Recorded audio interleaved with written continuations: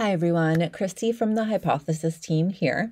Today I want to talk about three tips you can use to make sure that students annotate your course materials in a meaningful and engaging way.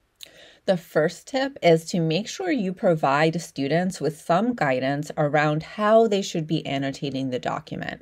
So, simply asking our students to add three annotations and two replies might not result in the responses that we're looking for but giving a little more guidance, like asking them to connect ideas from one reading to the next and explaining how they're connected, could increase the depth of the reflection within the annotation. The second tip is to give students examples and non examples of what annotations should and should not look like.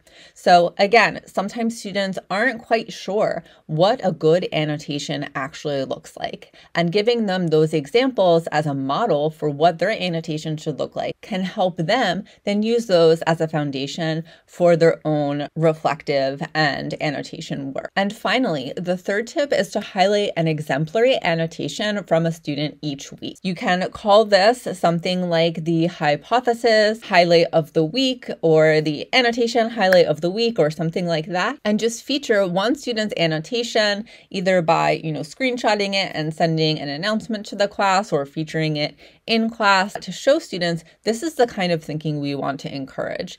And maybe even get students feeling a little bit motivated to maybe be one of those highlighted annotations in the future. So, again, those are three tips to help you get students to engage more meaningfully in your course tech. Hope this is helpful and see you next time.